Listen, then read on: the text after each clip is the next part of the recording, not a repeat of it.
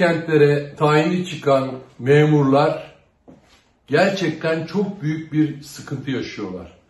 Çünkü ev kiraları geçtiğimiz yıllara oranla %200-300 oranında yükseldi ve devlet memurları İstanbul'a, Ankara'ya, İzmir'e, büyük kentlere, Adana'ya, Mersin'e, Antalya'ya tayini çıktığı zaman, turistik yörelere tayini çıktığı zaman yandım diye bağırıyorlar. Yandık, yandık, ailece yandık diye. Çünkü en düşük kira büyük kentlerde 7-8 bin liradan başlıyor. Ve memurların maaşları kiraya yetmiyor. İşte bunun için meclise bir kanun teklif verdim. 657 sayılı devlet memurları kanunun 213. maddesinden sonra gelmek üzere bir madde eklenmesini kanun teklifi olarak meclise sunduk.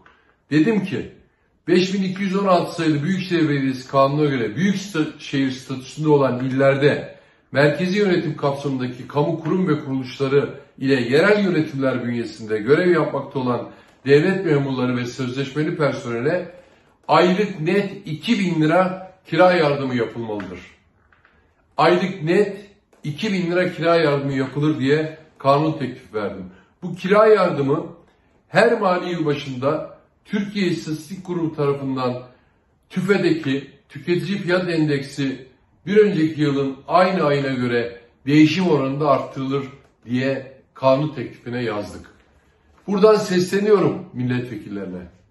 Memurların hali perişan. Çocuklarıyla beraber geldikleri büyük kentlerde sadece maaşlarının üçte ikisi kiraya gidiyor. Ve lojman yok, barınacak ev yok. En kötü koşullarda yaşasalar bile maaşlarının çok büyük oranını kiraya yatırmak zorunda kalıyorlar. O nedenle bütün milletvekillerinin bu konuda duyarlı olmasını ve memurların maaşlarına kira yardımı yapılması noktasında destek vermesini istiyorum. Memurlar Samsun'da, memurlar Antalya'da, memurlar Muğla'da, memurlar İzmir'de, Ankara'da, İstanbul'da gerçekten geçim sıkıntısı içerisindeler. Onlara maddi destek için kira yardım olan ikişer bin liranın kanun teklifinden geçirerek verilmesini meclis onayına sunduk.